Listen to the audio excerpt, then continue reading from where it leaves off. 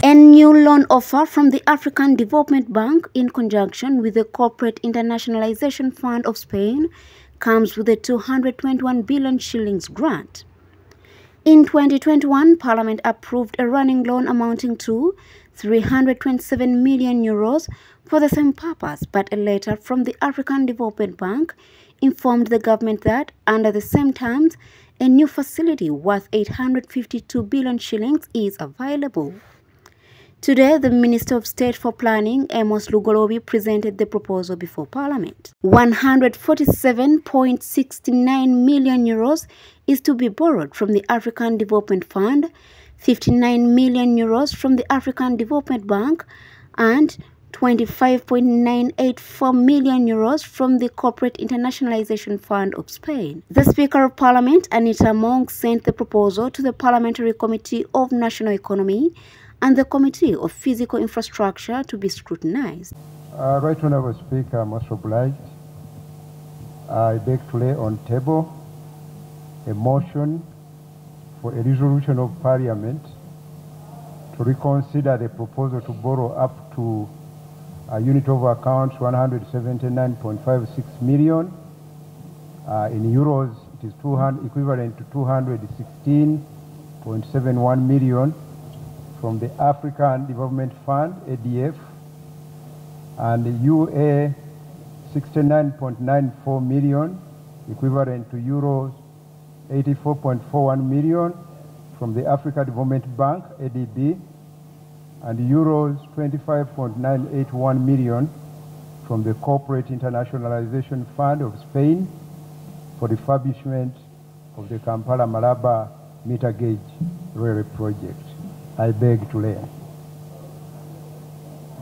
Actually, what uh, the Honorable Minister is laying is a loan request, not a motion.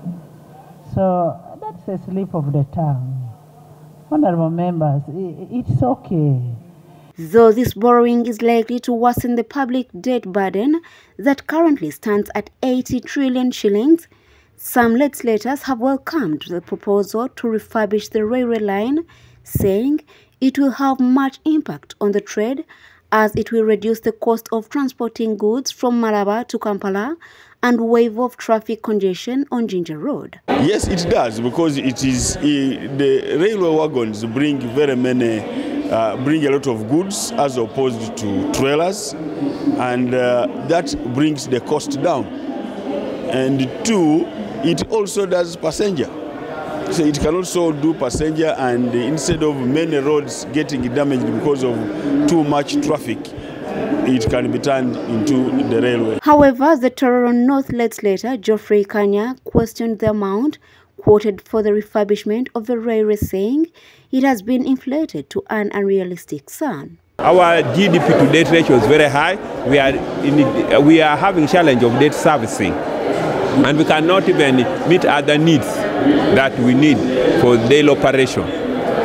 We need the railway, but the cost has been inflated. Members of parliament have mixed opinions on the project as some are wondering why the government continues to invest in meter gauge railway while other countries are advancing to standard gauge railway and electric railways. Not have the necessary money to invest and do the meter gauge. It might take us about 10 years to come eh, to really complete the meter gauge. Even Kenya and other countries that have done the meter gauge, they have not completed the entire infrastructure. So we have to keep both.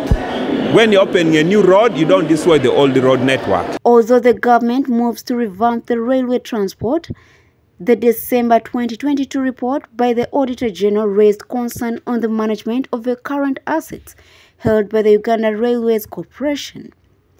This cites the failure by the corporation to recover stolen property from two steel companies. According to the Auditor General, URC went into an out-of-court settlement which resulted in a total compensation loss of 12.76 billion shillings from both the two steel companies and an indication that the legal cases were mismanaged. Story compiled by Fred Kajubi for the news at Parliament.